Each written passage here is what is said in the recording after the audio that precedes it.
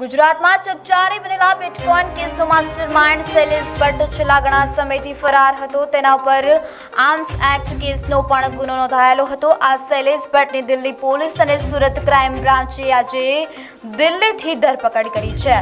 Surat crime branch અને દિલ્હી પોલીસના joint ઓપરેશનમાં તેની ધરપકડ કરાઈ છે અને હાલ શૈલેષ ભટ્ટને દિલ્હીના તિલકનગર પોલીસ સ્ટેશનમાં રાખવામાં આવ્યો છે. આવતીકાલે તેને કોર્ટમાં રજૂ કરવામાં આવશે. ત્યારબાદ ટ્રાન્સમિટ રિમાન્ડ મેળવીને સુરત ક્રાઇમ બ્રાન્ચની ટીમ તેને ગુજરાત લાવશે.